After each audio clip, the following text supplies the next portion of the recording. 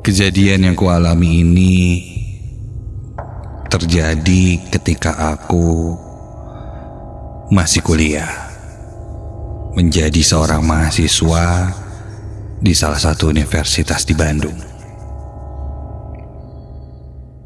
Aku berasal dari Sukabumi. Pindah ke Bandung, ngekos ketika aku masuk kuliah.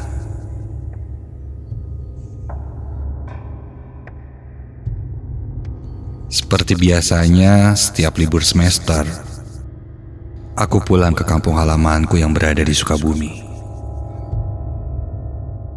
untuk menghabiskan masa liburan. Juga bertemu keluarga dan teman-teman semasa kecil aku di sana.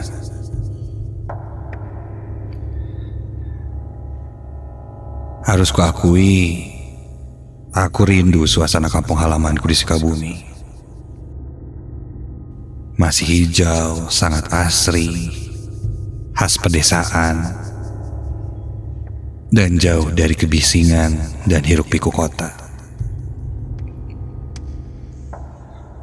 Hari itu, aku pun pulang ke Sukabumi.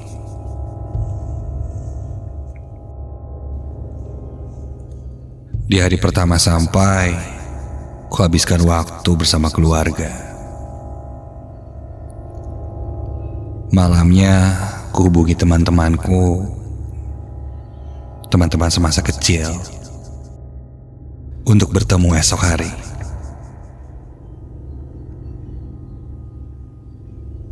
Karena aku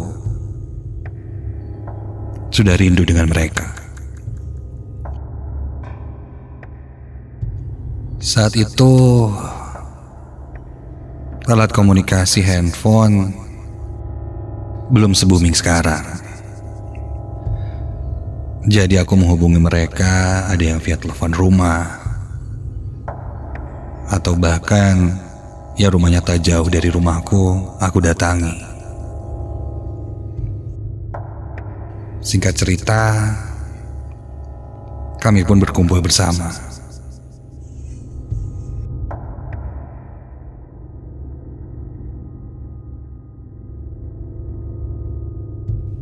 Kami berbagi cerita satu sama lain. Hingga salah satu dari mereka mengusulkan untuk healing ke pantai. Pantai yang ada di Sukabumi.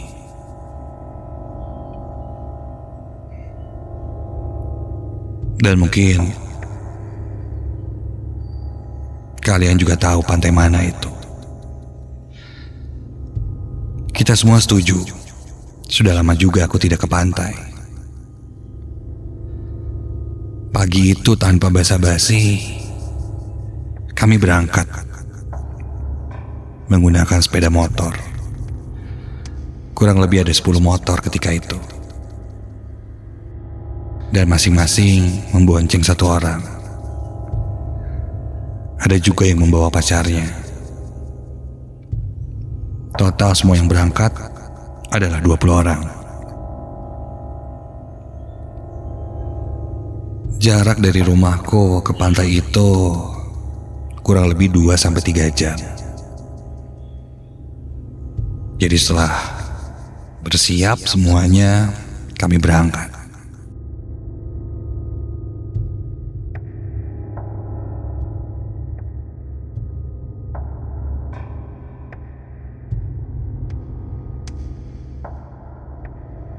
Aku membonceng temanku bernama Ridwan. Ketika di jalan, Ridwan melihat ke arahku dan cukup kaget. Dan dia langsung mengingatkanku. Kenapa memakai baju warna hijau?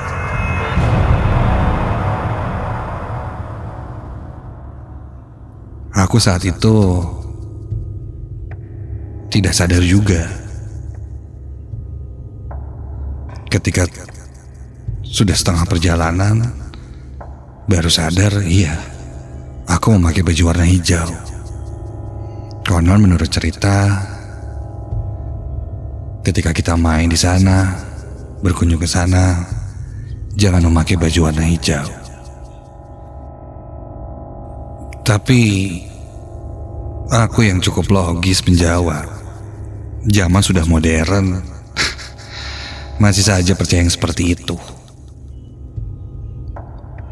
Ridwan langsung terdiam mendengar jawabanku, mengingatkanku agar tidak sompral. Sudahlah, aku pun membalasnya dengan senyuman dan menenangkannya.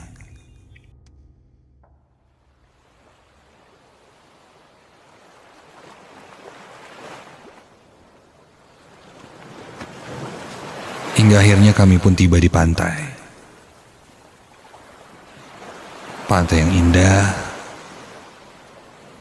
menyejukkan hati ketika melihatnya, dan Ya, mengobati rasa rinduku. Terakhir kemari, mungkin aku saat kecil. Kami pun bermain di sana, ada yang berenang, ada yang bermain pasir. Lalu kami pun lanjut makan bersama, atau yang biasa kami sebut buat teram. Selesai itu, rencananya kita akan beres-beres dan kembali pulang. Aku pun teringat perkataan Ridwan tentang masalah baju hijau. Aku mendekatinya yang saat itu sedang membereskan beberapa barang-barang untuk dimasukkan ke dalam tasnya. Kutepuk bahunya dan berkata, Wan, nih pakai baju hijau di sini aman-aman aja kan? Gak ada apa-apa tuh. Iya kan? Mitos kali. Oh iya mungkin. Mereka juga lagi liburan Wan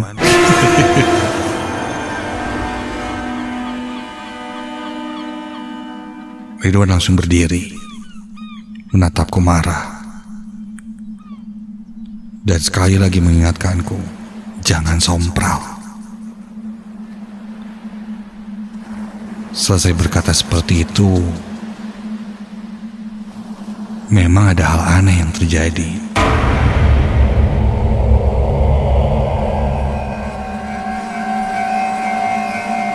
Langit yang ketika itu masih cerah, tiba-tiba berubah mendung.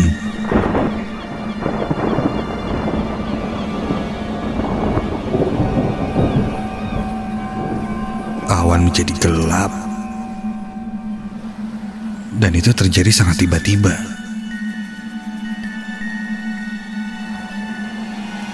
Kita pun memutuskan buru-buru untuk pulang takutnya ke keburu kehujanan di jalan.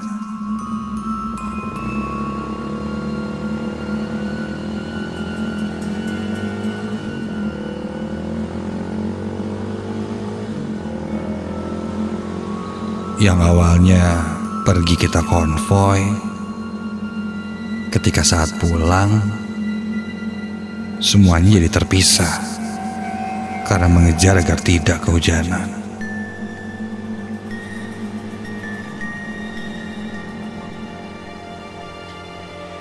Dan ketika itu, motorku dan Ridwan yang berada di paling belakang.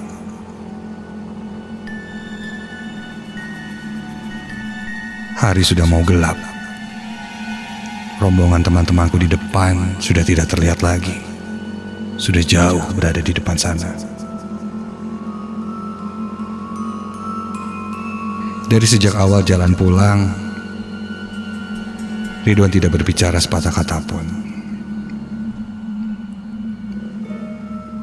Apa mungkin dia marah?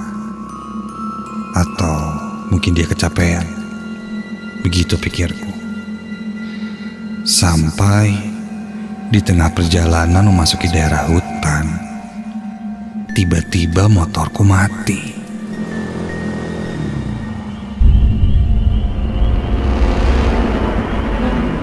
mati dengan sendirinya.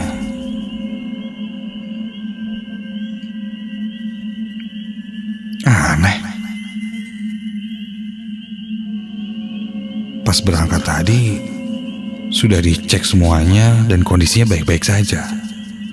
Bensin pun masih full. Kami pun berhenti di tengah hutan. Rombongan teman-temanku sudah jauh di depan dan tidak terlihat. Kami berdua terasa sendiri di dalam sana. Saat itu, seperti yang gue bilang, handphone belum belum terlalu musim. Bahkan aku pun tidak punya. Jadi aku tidak bisa menghubungi teman-temanku yang ada di depan sana.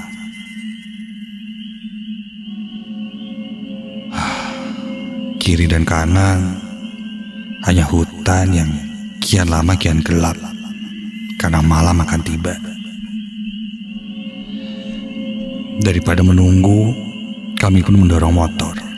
Barangkali ada bengkel di depan sana yang masih buka.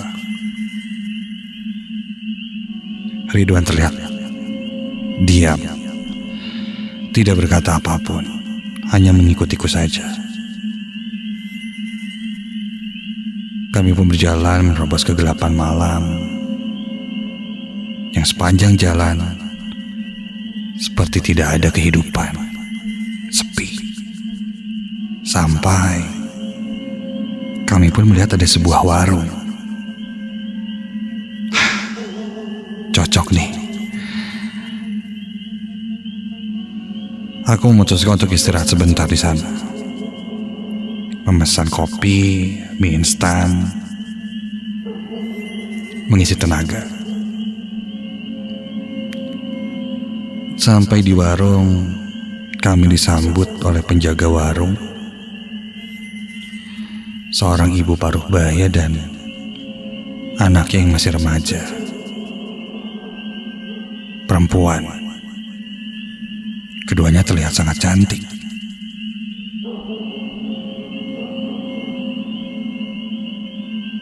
Bahkan sesekali aku menggoda mereka. Walaupun mereka hanya merespon dengan senyum kecil, tapi sepertinya responnya baik. Ketika aku coba menggoda mereka, Ridwan selalu menepuk kakiku dan memberikan kode seperti menggeleng-gelengkan kepala. Ya, mengartikan bahwa jangan dilakukan seperti itu, gak sopan. Tapi dia tidak berkata apa-apa. Hanya memberitahukan lewat gestur. Aku pun berbisik pada Ridwan. Wan, apaan sih lu? Itu aja masa gak boleh. Lumayan lah hiburan lagi capek. Lagian lu dari tadi kagak ngomong-ngomong. Diam aja terus. Kayak orang kesurupan tuh gak? Eh, aneh deh.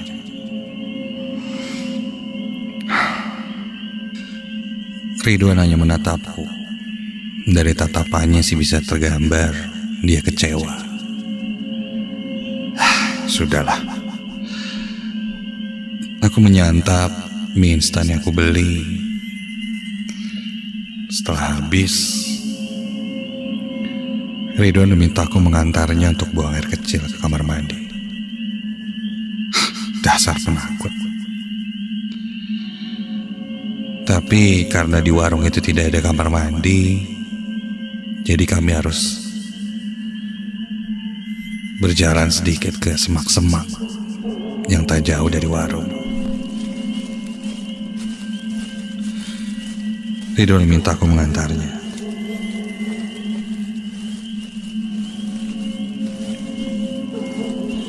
Karena masih terlalu terang di sekitar warung itu, dia memilih berjalan ke seberangnya.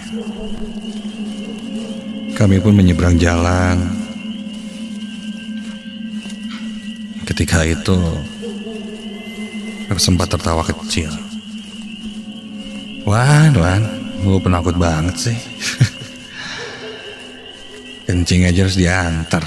Ah.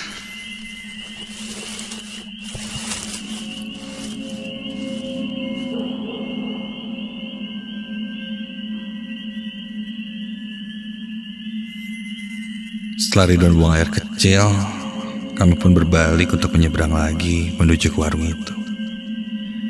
Dan ketika kami membalikan badan, loh,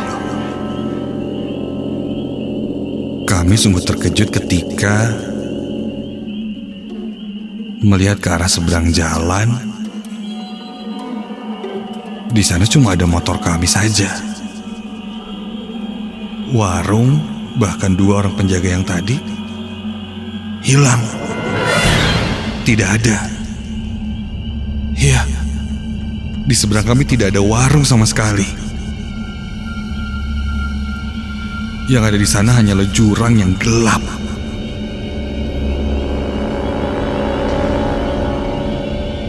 Aku memastikannya menyeberang jalan dan ketika kulihat memang memang itu hanya jurang.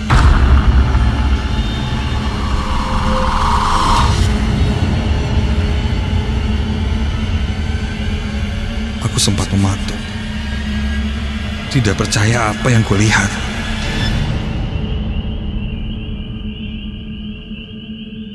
Ridwan segera menarikku ke arah motor.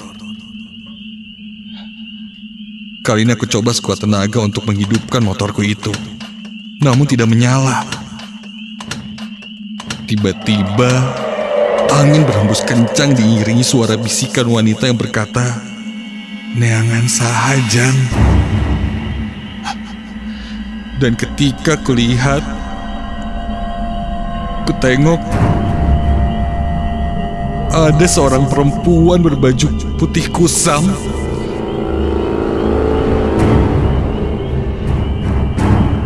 duduk di dahan pohon dengan rambut dan kaki yang sangat panjang hingga menyentuh tanah. Sosok itu tertawa cekikikan melihat ke arahku. Aku coba terus menyalakan mesin motor. Sampai akhirnya mesin motorku menyala dan kami pun langsung segera tancap gas. Ku tengok ke arah spion. Sosok perempuan itu terlihat melayang mengikuti kami sambil terus tertawa cekikikan.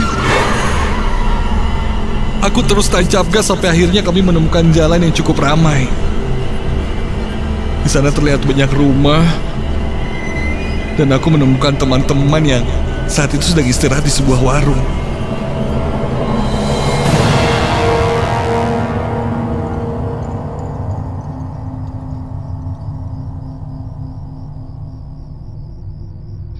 Kuceritakan semua yang kualami.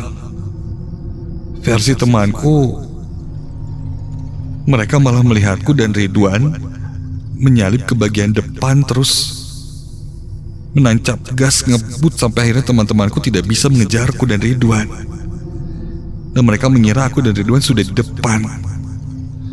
Makanya mereka mengebut motornya untuk mengejarku, tapi tidak terkejar hingga akhirnya memilih untuk istirahat dulu di warung sambil menemani salah satu rekanku yang kehabisan bensin saat itu.